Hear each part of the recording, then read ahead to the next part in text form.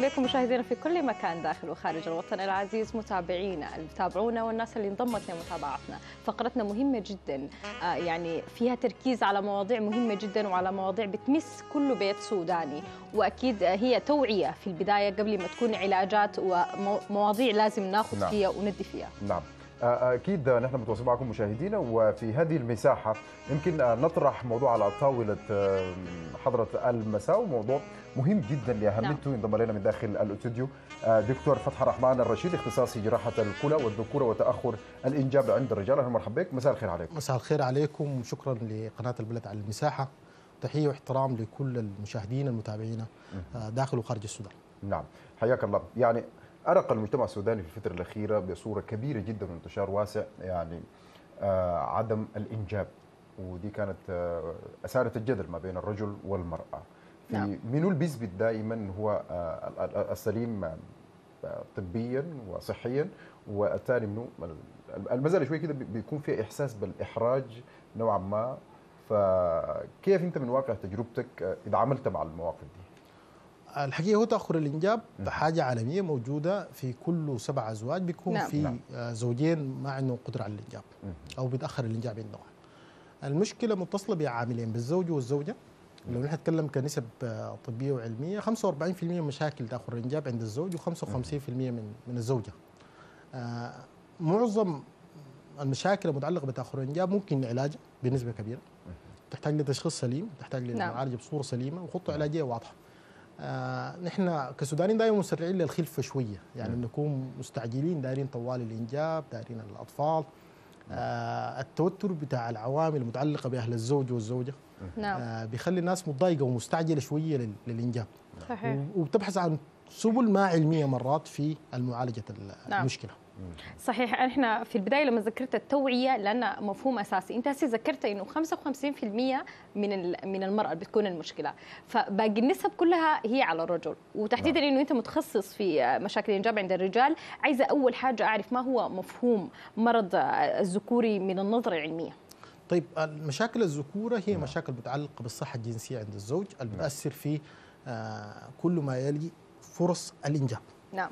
انطلاقا من المشاكل المتعلقة بالحيوانات المنويه المكونة ذاتها. تكون مكونة بصوره سليمة في الجسم وإنتاجها بصورة سليم وعددها يكون كويس. آه نعم. يكون حركتها كويسة ما فيها تشوهات مشاكل متعلقة حتى بقدرة الرجل على المجامعة لأنه دي واحدة دي أكثر سبب عندنا عالميا وعلميا نعم. آه يسبب تأخر الإنجاب. آه إنه يكون في مشاكل ذاته في المجامعة ودي حاجات ممكن علاجها بصورة أساسية. طيب بعد الزواج هل في معدل زمن محدد كده لأنك أنت تلجأ للطبيب؟ كان آه، سنة أو سنتين أو ثلاثة مثلا ما ما حصل آه، إنجاب. هو في حد التعريف معين ولا نعم. ولا الحاجة دي مطلقة؟ التعريف العلمي لتأخر الإنجاب عند الزوجين هو سنة. سنة. ده الكوت بوينت اللي هو سنة 12 شهر من الزواج. لكن 12 شهر مستمرة.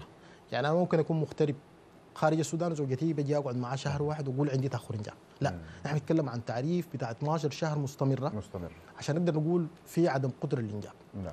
آه هي دي واحدة من الحاجات اللي بقت شوية فيها توعية إنه الناس تعمل فحوصات ما قبل الزواج. نعم. إنه أنا لو عندي مشكلة قبل الزواج ممكن أعالجها كرجل والس- والست برضه أو الزوجة إنها لو عندها مشاكل متعلقة بعدم القدرة للانجاب لقدام ممكن تتعالج حتى الحاجة دي قبل الزواج. نعم. والمفاجأة إنه بعض الناس بقت تجي بتجي بالفهم بتاع إنها دايره تشوف مشكلتها أو دايره تشوف فحوصاتها قبل. الزواج. آه لكن عشان نقدر نقول لشخص إنه عندك مشكلة بتاع تاخر إنجاب لازم يكون متزوج 12 شهر مكتملة. يعني ما ينفع آه بعض المناطق في السودان الواحد شهرين ثلاثة شهور يقول نعم. له والله دخرت في الإنجاب. نعم. آه شهرين ثلاثة شهور ما كفاية. لازم 12 شهر. طب انت ذكرت انه بعض ال ال- يعني ال- الناس مقبلين على الزواج بيجوا قبل الزواج انه يعملوا فحص. وذكرت انه يا أخي المسألة لازم تكون هي 12 شهر مستمرة نعم. حتى انت بدك تعرف انه هل في مشكلة بتاعت إنجاب أو تأخر إنجاب أو ما في مشكلة. طيب فائده شنو؟ طيب فائده شنو ان أنا أجي أفحص قبل في حاجات كثيره ممكن. يتعالج لأنه مع تقدم العمر أو مع الزمن بيبقى معالجتها صعبة. يعني عندنا مشاكل متعلقة بالحيوانات المنوية. نعم. آه، وأسباب جلها ممكن علاجها. أسباب اللي نعم. بتخلي إنه الحيوان المنوي ما قادر على التخصيب. آه، جلها ممكن معالجتها حتى قبل الزواج. يعني يعني عندنا من أكثر الأسباب في الشباب بالذات اللي بيكون عندهم تأخر إنجاب الالتهابات البسيطة دي. بالذات لما تبقى مزمنة مجرد ما تعالجت الشخص يبقى سليم. نعم. عندنا مشاكل متعلقة بدوال الخصية دي واحدة من الحاجات. عندنا مشاكل متعلقة بالانسداد القفل. دي برضو ممكن معالجتها بصورة سليمة. نعم. إحنا عندنا مشكلة بتاعت توعيه كبيرة جدا في نعم. في في الخصوص ده وفي تحديدا دي. زي ما أنت ذكرت ممكن يجوك بعد شهرين يجوك بعد شهر يقول لك إحنا عندنا مشكلة في الإنجاب. وغالبا ما يقع ال ال ال الواقع الأكبر يعني حتى طريقة السؤال اللي بيجيك بها بيقول لك والله أنا لي ثلاثة شهور ما اجبتها ما نعم. أعرف المرض مالها دي دي أول حاجة بتقع عليك. هو لازم إحنا نوعي وكيف إحنا نقدر نوصل المعلومة بتاعت إنه المشكلة بتاعت الإنجاب مشكلة علمية ما وصمه عار على الرجل. أنا داير أقول إنه أول خطة أو أول خطوة الزول يتخطاها عشان يقدر يحصل على الإنجاب بالذات لو شاك إنه في إشكالية نعم. إنه لازم يجي الزوج والزوجة. يعني فكرتنا التقليدية بتاعت إنه أنا أشوف مرتي أول أو أشوف الزوج أول ما بضرك بإنك بس تضيف لنا فحص. منك أنت. من صحيح. الزوج. نعم. بس كل داير إنه الزوجة تفحص عليها لكن أنت برضه أفحص. لأنه لو عرفت المشكلة بالذات في اولها يمكن المعالجه في حاجات مع. تقدم طبعا. نعم. في حاجات مع تقدم الزمن تطور المرض ما بتتعالج نعم. بتبقى في صعوبة بمعالجتها بصورة أساسية. نعم. لكن في حاجات سهلة جدا ومعالجتها سهلة جدا بس عامل الزمن قد يكون خصما على المريض. طيب تاخر الانجاب أنت ذكرت إنه في آه، عدة أسباب من ضمنها آه، مثلا التهابات الخصيه أو آه، مثلا الحيوان المنوي بتفاصيله وبعد ذاك قوة الحيوان المنوي والتشوهات في الحيوان المنوي. طيب دايرين بعض الأسباب إضافة للسببين دول نحن واحدة من الحالات اللي بتجينا كثير هي بنقول عليها انعدام الحيوانات المنوية. كل ما في حيوانات منوية نفحص نلقى ما في حيوانات منوية. ودي بتكون عندها متصلة بأسباب متعلقة بنقول عليها ما قبل الخصيه زي إنه يكون في اضطراب في الهرمونات. نعم. وده يمكن علاجه. نعم. عندنا المشاكل المتعلقة بالكروموسومات أو المتلازمات زي كلاينفلتر دي بتحتاج لخطة معينة. عندنا برضو آه، أسباب متعلقة بالخصيه زي ما قلت لك الالتهابات الضمور ال- آه، التليف الأورام. الأجسام المضادة للحيوانات المنوية. نعم. عندنا أسباب بعد الخصية ودي زي القفل زي الدوالي أو الأورام بتاعت البربخ أو انعدام الحبل المنوي أو الالتهابات المزمنة بالنسبة لالتهابات البروستاتا. نعم. دي كلها بتخلي إنه الحيوانات المنوية ما موجودة في الفحص دي مجرد ما نشوف المريض بنعمل له خطة الخطة دي متوفر علاجها في السودان نعم. تماما يعني.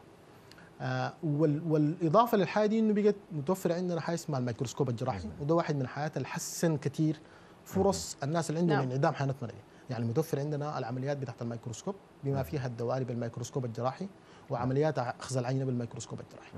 عندنا مشاكل متعلقة بقلة عدد الحيوانات المنويه وقلة حركتها وقلة أو تشوهات ودي برضو معالجتها سهلة جدا لو عارف السبب. لكن للأسف الشديد بيكون المريض في في القلة بالذات نعم. إنه مشى ال- ال- السبل البديلة اللي هي الاعشاب والح نعم، يعني مشى ل- صحيح. العلاجات حاجات الطبيعيه أيوة. ودي آه للأسف الشديد قد تكون شوية هي آه كل الأدوية جاية من مكونات نعم. مرات من الطبيعة لكن بيكون معالجتها بصورة طبية وصوره دوائية بصورة سريعه نعم. فالمريض بياخذ ال- الحاجة دي ويكون أخذ زمن طويل فيها وللأسف بعد ذاك بيمشي من مرحلة قلة لانعدام والمعالجة تصعب. وده السيناريو الأكثر إنه الواحد بيتأخر علاجه سنين بسبب إنه مشى للوسائل أو السبل البديلة لو سميناها بديلة لكن آه نحن بنقول دائما الزول إنه لو مشى في الخطين أفضل يعني قابل طبيب واعمل الدايرة. قابل طبيب بتاع ذكورة بيحدد لك المشكلة على الأقل بتكون نعم. بعد ذاك عرفت مشكلتك شنو. في حاجات نعم. طبية ممكن علاجها زي ما قلت سهل جدا. آه التشوهات واحدة من الحاجات برضو آه مشكلتها إنه المريض بيكون آه الزوجه عندها تكرر للإجهاض. نعم. وتكرر الإجهاض دائما مظلوم في الزوجة. في أسباب متعلقة بالإجهاضات ما تكون سبب الزوجة. نعم. الزوجة تفحص كل الفحوصات يلقاها سليمة. نعم. والإجهاضات شغالة. لكن الزوج ما دار يفحص. أول ما يفحص يقول له والله عندك مشكلة بتاعت سائل منوي نعم. نعم. مجرد ما عالج المشكلة الاجهاضات وقفت بالتالي حصل حمل طبيعي بالتالي حصلت. انجاب انجاب نعم. نعم. طب في مشكلة برضو بتواجه نساء المجتمع ب- بصورة أكبر. إنه بتا يعني بيكون في في حمل لكن في إجهاض بطريقة مستمرة. نعم. اللي هي ما بتقدر تحدد إذا المشكلة منها أو من زوجها. نعم. وهي في الغالب طبيا إن المشكلة من الزوج. لكن بنلاقي إنه في ناس كثيرة من المشاكل اللي بتواجههم طوالي بيتجهوا للسفر خارج البلاد أو لل- لل- للإعلانات اللي بتكون موجودة في التلفزيون الحاجة اللي بتساعد على الحمل. هي نوع من من أنواع عدم التوعية. لكن ممكن نقول إنه نسبة ال- ال- التقنيات والاجهزه الموجودة في السودان ما بي يعني ما حديثة لدرجة توفر لنا الإنجاب بطريقة صحيحة؟ هو للأمانة نحن عندنا مراكز متخصصة هنا ممتازة جدا بما فيها المستشفيات الحكومية هسه بقت نعم. في خدمة موفرة بالنسبة لنا في الذكورة في مستشفى بشار الجامعي نعم. فيها كل الخدمات اللي ممكن تقدم بالنسبة أساسية وبصورة كاملة. قد يكون قبل سنين عددة كان ما في الخدمة دي. فالناس كان بتسافر برا بالمفهوم التقليدي إنه والله ال- الدكاترة كويسين لكن الخدمة ما متوفرة. لكن هسه بقت الخدمة متوفرة بما فيها الأجهزة المتقدمة. أنا زي ما قلت قبل عمليات الميكروسكوب الجراحي بقت موجودة عندنا في السودان نعم. زمان الناس بيسافروا لها برا لكن هسه موجودة وبتتعامل ونسبه نجاحها عالية جدا. بالنسبة لنا في يعني مثلا كمثل بسيط الناس اللي عندهم انعدام الحيوانات المنوية لو اتعملت العملية بال- بالجراحة العادية نسبة نجاح 40% بالميكروسكوب 62% فبقول لك يا أخي أنا اللي اعملها بالجراحة العادية في السودان ما امشي أعملها ميكروسكوب برا. نعم. الميكروسكوب بقى فيه. فبقت الحوجة للسفر في مجال الذكورة بسيطة جدا. بما فيها حتى مراكز ال ال الإنجاب المساعد بالنسبة لنا في التلقيح الصناعي بالنسبة لنا في أطفال انابيب نعم. المراكز دي بتقدم خدمة ممتازة وبقت في تأهيل لها تطوير في الأجهزة بتاعتها ونسبة نجاحها موجودة وشغالة بصورة كويسة يعني. نعم. تقدم خدمة كويسة. قد تكون ما واضحة اعلاميا لكن المراكز دي قادمة بخدمة ممتازة. شغالة. نعم.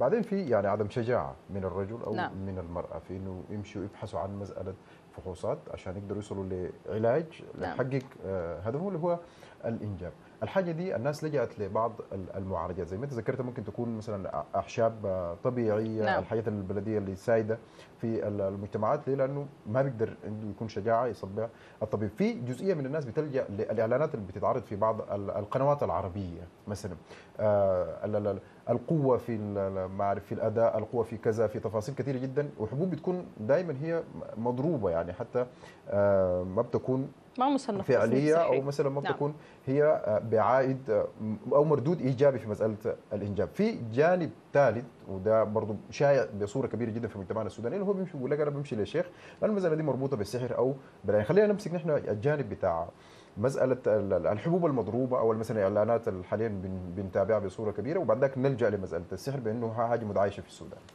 هو حقيقة طبعا ال- ال- الكثير من المرضى بيكون مشكلتهم الأساسية تأخير الزمن المتعلق بسنين قضوها في متابعة ال- الأعشاب وال نعم. قد يكون العسل آه، نحن بنقول علاج لكن كحاجة علمية نحن محتاجين لنفحص نشوف المشكلة وين ونشوف السبب شنو. وزي ما قلت في حاجات علاجها قد يكون مباشر بتدخل جراحي ب- بأدوية بكده نعم. ودي علاج زي ما قلت في أوله سهل جدا. المريض بيجي بعد سنين من متابعة ويقول لك أنا والله يا أخي ما حصل لي تقدم أو ما حصل لي تحسن. آه كان عندي انعدام بقى لسه الانعدام موجود أو كان عندي قلة بقى في انعدام تام. وكل ما أنت دخلت في ال- في البحث عن الخدمة الطبية تلقى روحك إنك أنت المضر كمريض. نعم. نحن أنا زي ما قلت قبل يحسن أو يفضل إنه المريض. لو داير يعمل أو يمشي في اتجاه الاعشاب أو داير يمشي في العسل أو داير يمشي في أي حاجة يستشير دكتور بتاع ذكورة. يعني واصل في حاجتك دي لكن يشوف دكتور ذكورة على الأقل بيوريك الحاجة اللي ممكن علاجها سهل جدا. أنا بقول برضو وأنا أتفق معك في إنه كثير من ال- من الموجود من الاعشاب من عشبة كده وكده دي كلها حاجات لا علميا مصنفة لا نعم. والدليل على كده انها موجودة مثلا اللي عندنا هنا هو في مجتمعنا العربي ده لكن ما موجودة علميا ما موجودة في صحيح. اي مكان ما صح. مذكورة في أي كتاب نعم. فبالتالي ما ما حاجة حقيقية ما حاجة مؤكد إنها فعاليتها قد تكون صادفت مع مريض وصادفت بسبب أو بآخر إنه تلقى علاج ثاني نعم. لكن حاجة علمية مثبتة لا ما في. وأنا بنصح كله بيسمعنا الآن. الاعشاب آه، حتى لو ما عندها ضرر ممكن تكون ما منها فائده نعم. نعم. ولو بقت مضروبة مدتها منتهية بتفاصيل كثيرة ممكن قد تكون لأنها ما فيها label أصلا. نعم ما بكون فيها. label مجرد حاجة بتدوك لها بس يعني. فأنت ما عارف ما هي شنو ما مفحوصة ما معروفة علميا. آه، قد تضر نفسك بإنك أنت زي ما قلت قبل أكثر الضرر من التأخير. ففرصك ممكن تقيل كثير لو انت جيت في الأول قبل من خطتك أو من بداية زواجك قد تستفيد من الدكتور أكثر من الأعشاب. نعم. نعم. طيب طبعاً. جانب السحر. ما بتلقيه كثير جدا في المجتمعات السودانيه حتى السيدات. بالنسبة للسيدات أكثر يعني الجانب بتاع السحر وال... دي, دي دي حاجات يعني نعم. بعيدا عن الوعي هي حاجات ما عندها علاقة أصلا بربنا. يعني دي دي حاجات بعيدة تماما ما موجودة أصلا. ده خيال نفسي أو نعم. عمل عملية نفسية أنت بتقدميها لنفسك. حتى ممكن تحسي بالحمل الكاذب. يعني أنت ممكن بعد ما تعملي الحاجة دي تحسي بإنه أنت حامل فعلا. فبتيجي تفحصي بتلقي إنه ما في شيء. فهو أكيد حاجة ما عندها ما عندها فايدة. والله السحر طبعا يعني إحنا لو- سلمنا إنه السحر موجود في القرآن لكن نحن بنقول في جانب بيجي المريض يقول لك والله مرتي دي مربوطة. نعم. ولا ربطوه. ولا يعني مصطلحات قد تكون شائعة عندنا موجودة. إنه والله مشى الواحد آه، حاقد على المرأة أو المراه. دايره. تعرس نعم. أو كلام كثير بنسمعه. حتى ممكن تاخذ علاج يعني نعم. من من من الزول اللي هي اتجهت له ممكن تاخذ علاج ما عنده ممكن يكون موية مثلاً. ممكن لا، أيوه لا. ممكن يكون موية يعني ما في حل المفارق إنه للأمانة بعض الشيوخ بيوجهوا لنا المرضى نعم بيكون عارف من الأول إنه ما علاج بتاعها نعم. بتاعه يعني عارف إنه دي مشكلة طبيعي. طبية نعم. دي نعم. مشكلة. طبيه بيجي المريض يقول لك والله يا أخي شيخ فلان قال لي يمشي الدكتور نعم فبيجي مسلم بإنه والله هو داير الخدمة الطبية وأنا ب- بناشد كثير من الش... أو كل الشيوخ بإنه لو لقى إنه والله في مشكلة بتاعت الخرنجاب أديه العلاج القراني ما عندنا مشكلة. نعم. أديه كل الحياة اللي مناسب. لكن أشرك معك طبيب في الموضوع طيب يا دكتور آه، فارق السن أو أو العمر له أثر كبير في في في موضوع الإنجاب والتدخين السلبي له أثر كبير في تاخر الإنجاب. وأيضا السمن يعني البدانة عند النساء نعم. عندها دور كبير في في الإنجاب. نعم أكيد طبعا. نحن عندنا عوامل خطورة. أول ما المريض يجينا حتى الزوجة والزوجة بيكون مشكلتنا الأساسية مع التدخين.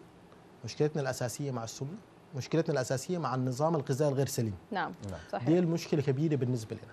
يعني إحنا واحدة من الحاجات بالنسبة لنا في الذكورة وأساسية جدا إنه يكون عندنا حاجة اسمها العلاج السلوكي. نعم. نعم. العلاج السلوكي ده إحنا بندخل في في في نمط الحياة بتاع المريض في إنه نوجهه للطريق السليم. إنه لازم مثلا الرياضة نحن عندنا إجبارية بالنسبة لنا نعم. بتاع الذكورة.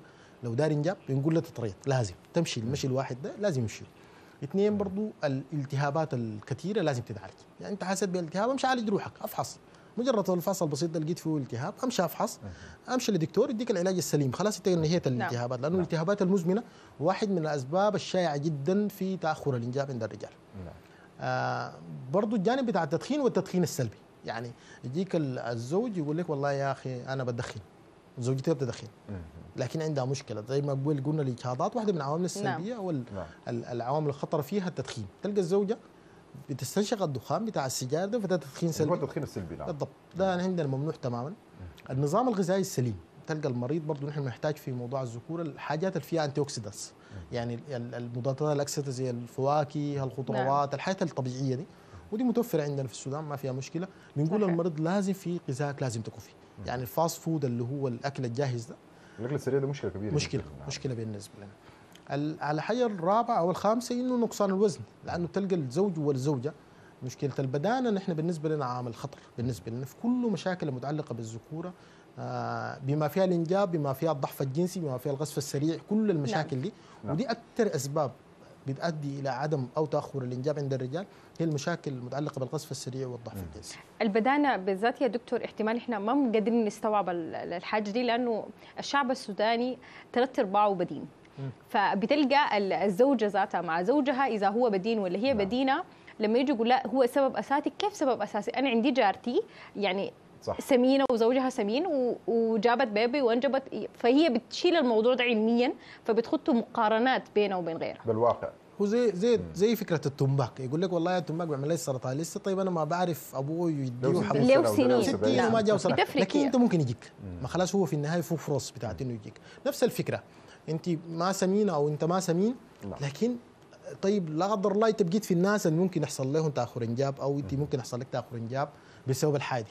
ما, نعم. ما نعمل وقاية ن- نبعد عن البدانه ونقول إنه زي ما قلت لك حتى النظام الغذائي عنده دور أساسي في صحيح. محاربة نعم. السمنة وده مهم جدا عندنا طيب آه، دكتور فتح الرحمن يعني نحن بنتابع الوضع الراهن الاقتصادي ويمكن ضيق المعيشة اللي بيحصل بده بدور بسبب جزء كبير جدا من الضغوط النفسية للأزواج خصوصا الأزواج حديثي الزواج هل يمكن أن يكون ده سبب ومؤثر لتأخر الإنجاب؟ خصوصا بعد ما يكون في آه، طمأنة من من الدكاترة بأنه فحوصاتكم جات سليمة.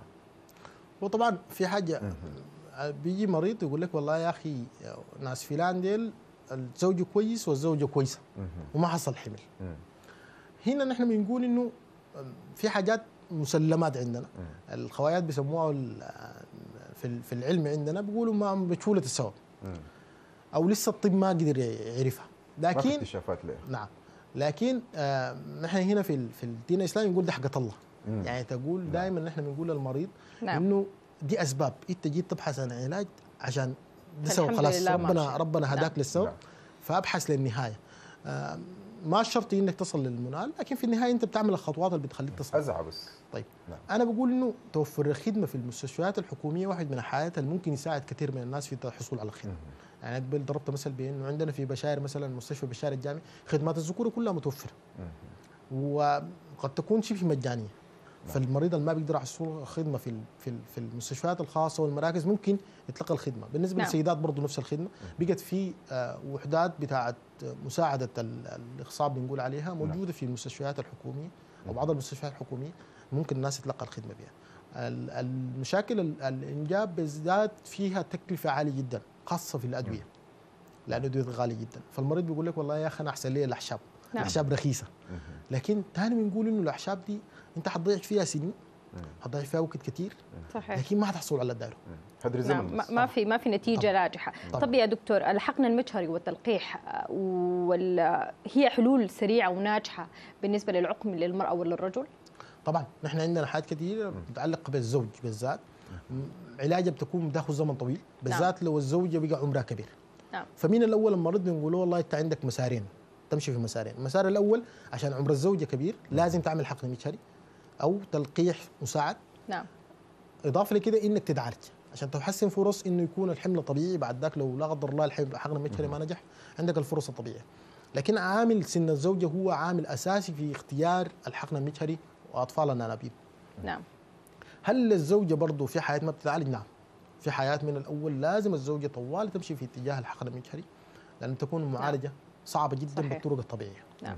طب يا دكتور آه، آه، التلقيح وال- وال- والحقن المجهري هل هم في المستقبل عندهم أي أضرار على على الجنين؟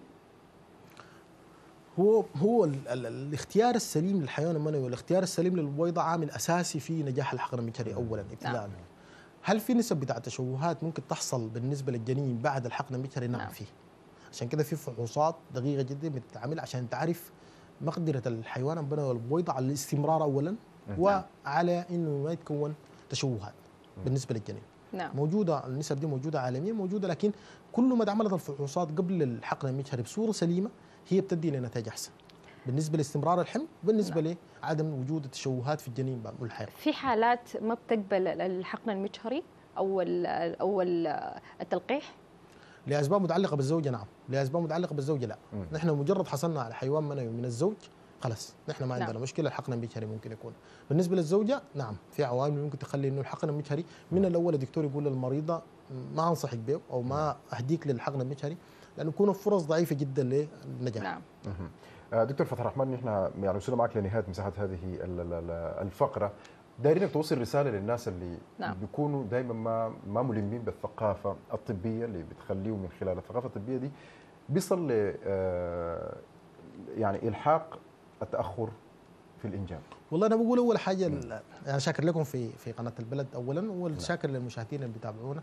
لكن بقول إنه دائما مشاكل الذكور وتأخر الإنجاب عند الرجال بالذات مشاكل في معظمها ممكن حلها. 90% من المشاكل ممكن حلها. نعم. بالذات لو المريض جاء في الفترة الأولى أول ما عرف المشكلة أول ما تزوج وحصل تأخير للإنجاب أفحص فحص السائل المنوي قابل به دكتور ذكورة. حيقول لك أنت كويس أو ما كويس أو محتاج لعلاج أو ما محتاج لعلاج. اثنين الوسائل البديلة اللي ممكن تتخذها قد تضرك بصورة أساسية. عندنا نعم. مشكلة ثانية متعلقة بالإدمان. بالنسبة للكحول أنا برضو بحذر بإنه دي مشاكل هادمة للصحة الجنسية للزوج. نعم. تدخين الإدمان الكحول. دي الهادمات للصحة الجنسية بالنسبة للزوج. ثلاثة قدر قدر الإمكان خلي حياتك بصورة سليمة التعليمات اللي قلنا أو الارشادات اللي قلنا.